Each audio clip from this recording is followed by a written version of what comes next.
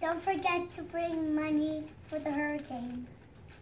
Because because some people from the hurricane lost their things. Give them a round of applause.